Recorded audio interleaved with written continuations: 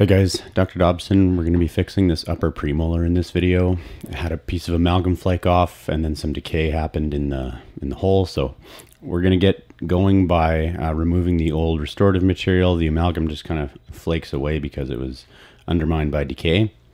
And once the amalgam's out, we're going to go in with our small slow speed uh, round carbide and just removing the tooth decay until we're back on hard tooth tissue, which we pretty much are there. There's a photo of what it looks like. You can see a little bit of blushing. It got a little close to the pulp. Lots of sharp line angles, so we're going to go in with a uh, round carbide and just kind of smooth off any sharp internal line angles.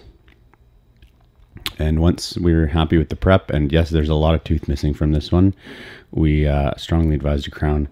Going to uh, shave off the sides of the um, any sharp edges interproximally, and then we're going to matrix the tooth and begin restoring.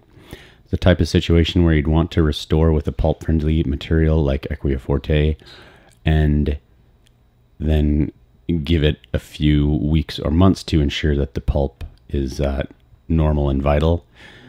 There's the matrixed tooth. We're going to finish assembling the separator rings placing them apically and then give them a little shake to wedge the teeth apart. And we're pretty much ready to etch and restore here. Quick burnish. So here we're going to do our five second phosphoric acid etch. Rinse thoroughly, dry, and then apply our Equia Forte. We're going to overfill and then pack down with a moist cotton pellet and then we're going to give it five minutes to set. A few moments later. Once the material's set, we're going to remove the separator rings, the matrix assembly, and begin finishing the tooth by removing the excess restorative material, taking out the matrix bands with the Howe plier,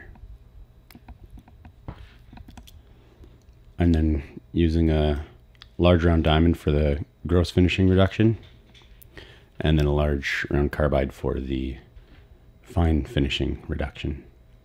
This is a type of situation where we want the tooth fully out of contact to prevent one of those cusps from flaking away. So we're actually going to take that contact point on the natural tooth down a touch and we'll reassess. This was a while ago actually. The tooth is doing well. I'm going to coat it with our Equia coat cure that and then check the contacts and and we're happy there.